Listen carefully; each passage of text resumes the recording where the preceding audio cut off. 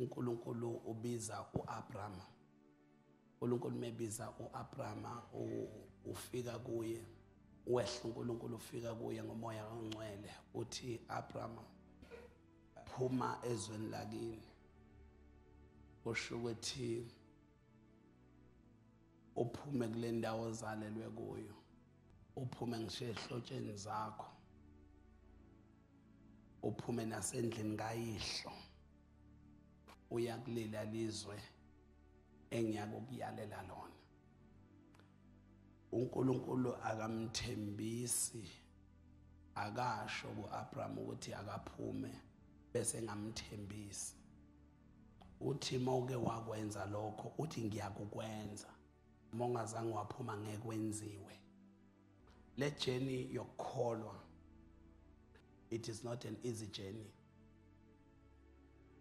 Ijeni yenqumo ezinamandla ijeni yenqumo ezibuhlungu. uNkulunkulu uma ezosebenza kumuntu uyamsusa kwi-comfort zone le yakhe ambeke kule level uNkulunkulu akafuna yena ukuthi abe kuyo. Lesekhishiwe uAbraham. uNkulunkulu wamyalela ukuba aphume. Wabe sethatha umkakhe uSarai and wayesesuka wathatha nendodana yakhe uLothi baphuma kanye naye. Mabephuma kanye naye iphimbo likaNkulunkulu lathula.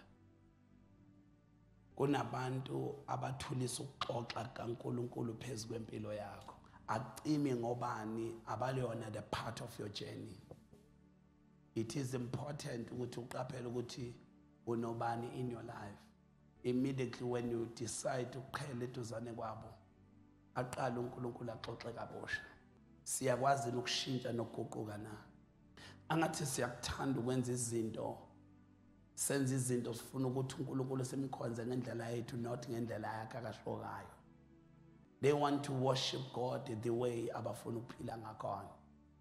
Ngoba kuyingozi ukuhamba wenze bese uphambana noNkulunkulu. Hleze konke okushiwo kwaprofeta okwabekwa phe kwempilo yakho kungenzeki ngenxa yokuthi indlebe yakhe ibemfishane ukulalela uNkulunkulu. Uma uNkulunkulu eke wathi phuma lalela izwi lakhe lokuthi phuma. Inyanga ifika ithi nje yenza ukuthi bese ngabe saqala sangishe emuva. Uhamba ngathi libakhonke ngensimbi ngabe ungazabheka emuva. Uzohlola ukulalela umoya ongcwele angeke uNkulunkulu asenze sibe yilabantu esifuna ukuba yibona sikwazi ukuthola lezinto esizifunayo angeke akwazi ukusenza.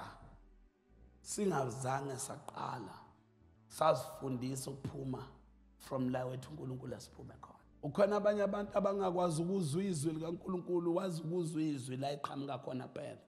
Uma uke waphuma ngiyakukwenza. Uma ungazange waphuma nakuba uyizwile iprofesi. Wazizwa izethembiso ekuthembisa zona.